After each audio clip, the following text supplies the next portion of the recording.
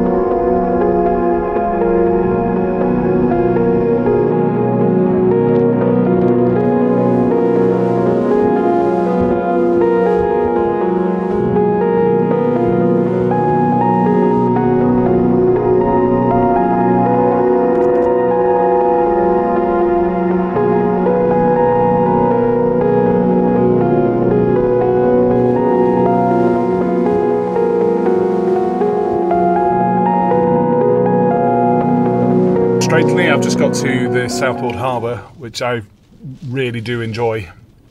Um, I think it's an amazing structure, but it is starting to rain.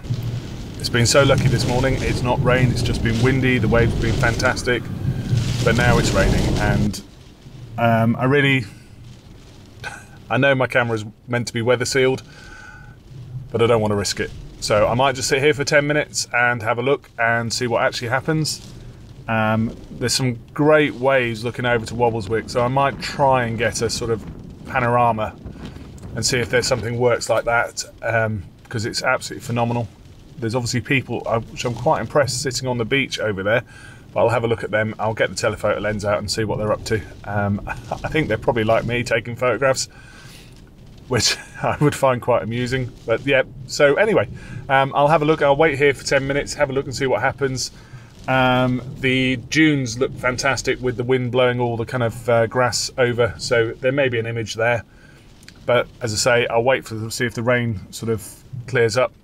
Also, over there um, on the uh, harbour wall, the sand is blowing into the sea, and I don't know if I'll get an actual shot of it for a photograph, but for video, it might be very interesting. So I might just get the camera out and just video that for a little while and see actually what happens. Well, I've had a cup of coffee, so um, and that's I'm going to call it a day. It's now starting to rain. It's miserable.